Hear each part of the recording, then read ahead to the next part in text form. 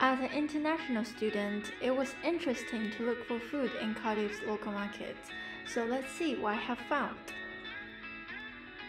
Entering the market, we can see many kinds of vegetables and fruits. They have very attractive colors. There are peppers, cucumbers, tomatoes, and some kinds of spices, such as coriander, onions, and garlic. Besides, there are lots of root vegetables such as pumpkins, potatoes, carrots, and some of them I haven't even seen before.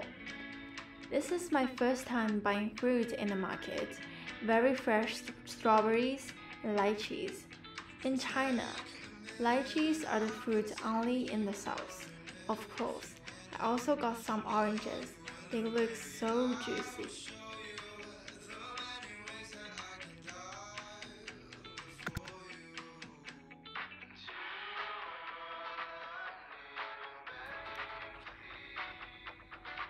On the other side of the market entry, they are selling seafood. Cardiff is a city close to the sea. They have a wide range of seafood, various sizes of shrimps, and they look very cute.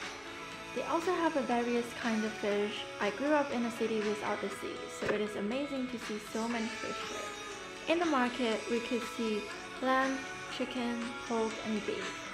And there are many breads and cake which they look really attractive.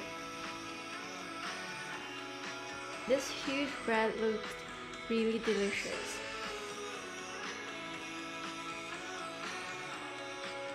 Also, they have salad and sandwiches booths.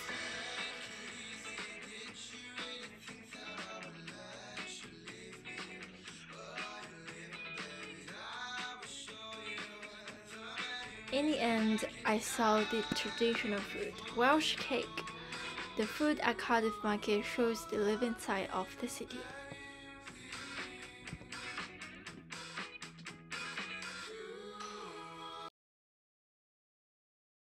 Uh, very traditional, whereas kind of um, in the last five years or so, it's kind of become a lot more trendy. Um, so before you could always, it was always really known that you could get like a really nice greasy breakfast in here and, and like a burger or something. Whereas now you've got like the pizza, curry, we open doing like fresh options. So um, the food's a lot more varied than it used to be. So that's really special because whether you want like Malaysian or Thai or pizza or salad, like you can pretty much get whatever you're looking for in here now, which wasn't possible like six years ago. So that's really special, I think.